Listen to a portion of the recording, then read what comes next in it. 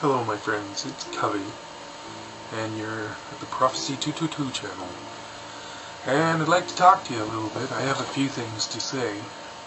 But I'd like to begin by telling you about a dream I had. It was several months ago. It was extremely powerful and it was the probably the best dream I ever had in all of my history in life. and I want to tell you a little bit of silliness on my part, trying to learn as I go.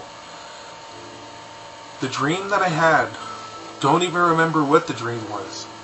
It wasn't even the importance of that aspect. It was the message that was given to me. God didn't come to me in a dream, but I heard clearly this feeling overwhelming, and I heard God say, I am pleased and I actually remember when I woke up, I felt so wonderful. And for an instant, this is this is the humanity of who we are. My pride overwhelmed me. For an instant, I was a little dismayed because God didn't say He was proud of me. Isn't that silly, eh? Knowing what pride is, you know. Just for a blink instance, I had to catch myself and go, "What are you thinking, you silly?" You know, and and go back to the realization of the gift that was given to me. I mean, that was the most important message of my whole entire life, over any sign or anything. Nothing more than, I am pleased with you. That is the most incredible thing that I can't even put words to. but I had to share you. And more. I have a lot of things to say, my friends.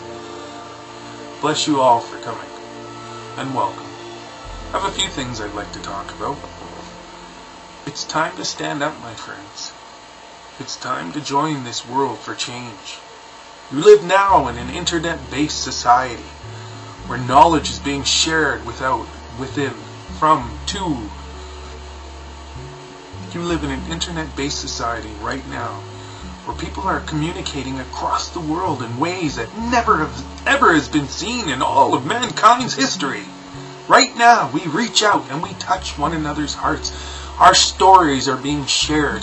We are seeing and knowing the truths that we're being held and lied to by the media that is controlled by the evil of this uh, society. The world is being controlled by the evil of this society.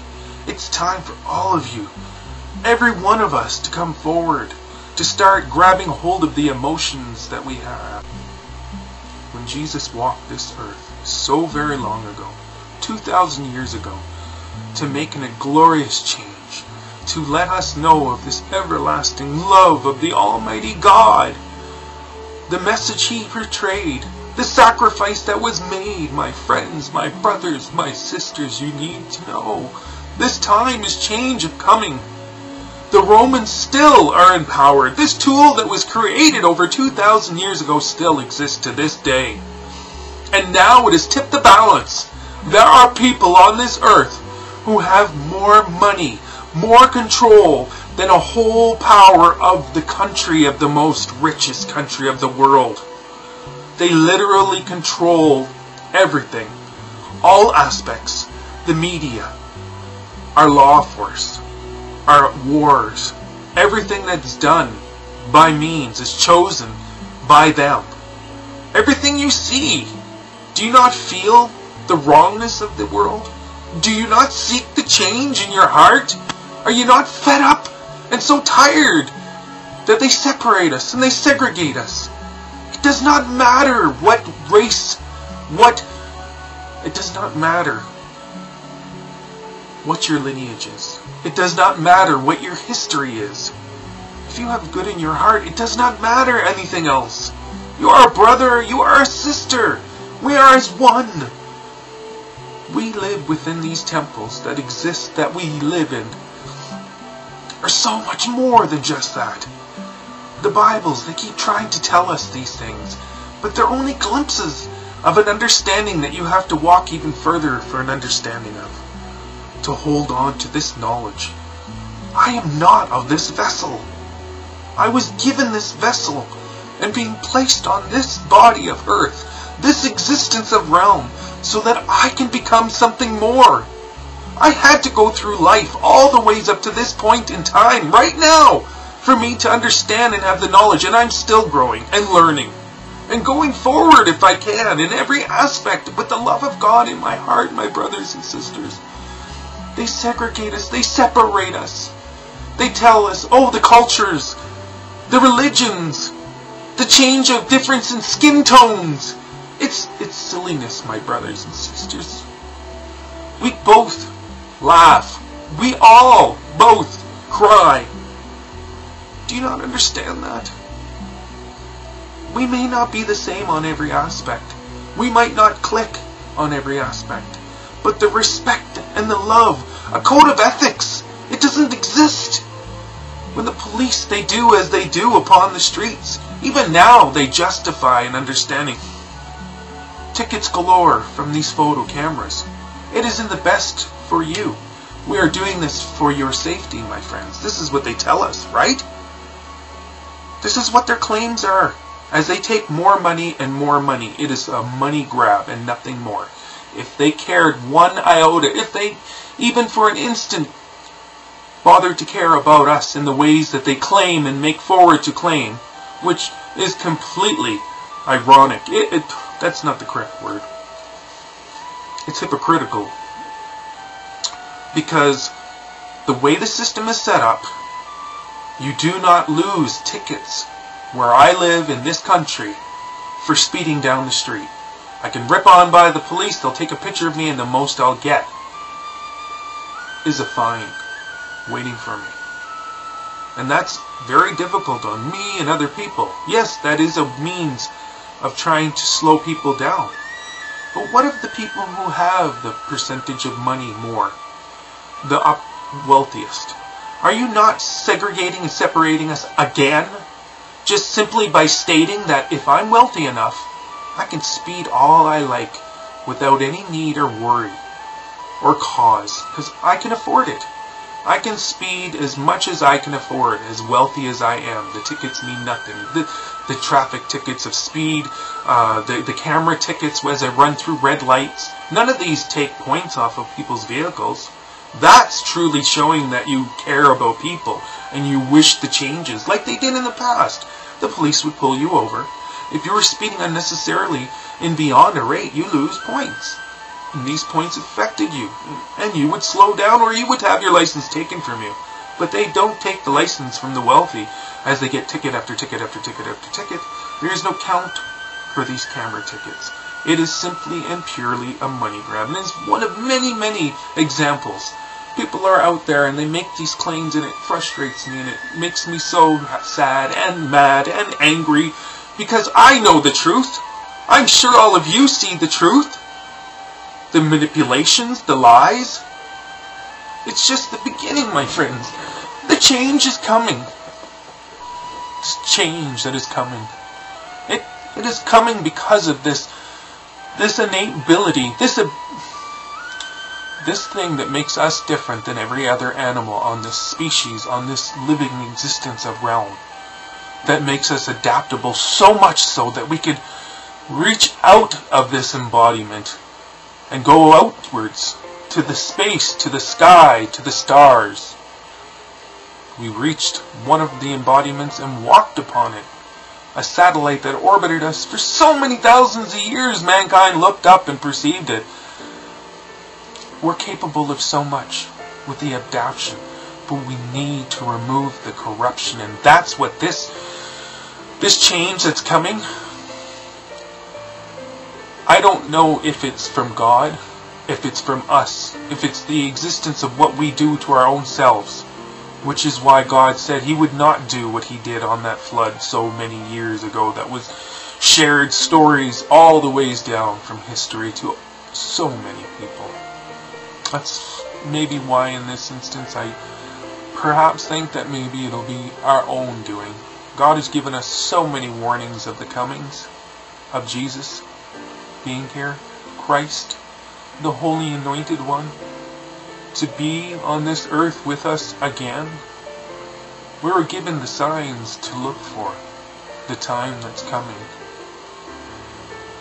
But in some instances of the early, I wonder if these signs are not showing us an existence, that change that's coming comes from ourselves.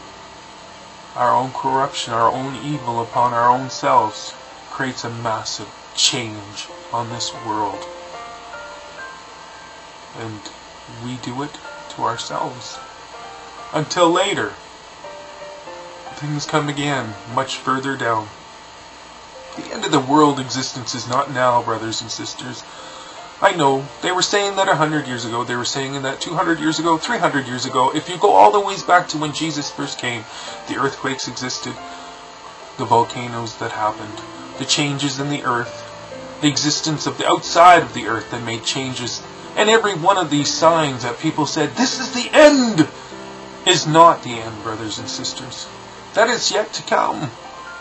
I'm only a messenger to tell you that Jesus is coming. That's all I am. I'm asked to be here to share what God's messages are, to reinforce the change that's about to come, so that I can get us on the guiding path. Some of us, perhaps. I don't know. I don't have all the answers. I'm such a stumbling block. We exist in a new era, my friends. A communication era. Unsurpassed by all of history and all the time that we have been upon this bubbled world. We grow, we become more. But right now we're on the tipping edge of becoming so much more. But they know how to make our minds busy They've taken our bodies and made them weaker. We are our temples being affected by the corruption and evil that exists upon this earth. But it is possible to heal these bodies on ways that are far beyond what our pharmacies can do. And that is the changes that I am trying to make, my brothers and sisters. I know what the tree of life is, and I know that people will not believe but I have seen with my own eyes, and that's all I need to know. I will not stop. I will not. They will take me and throw me into prisons, and when I get out, I will do it again and louder. I know that my time of change may be coming. And when it does, they don't realize that instead of shutting me up, they will begin something they will regret.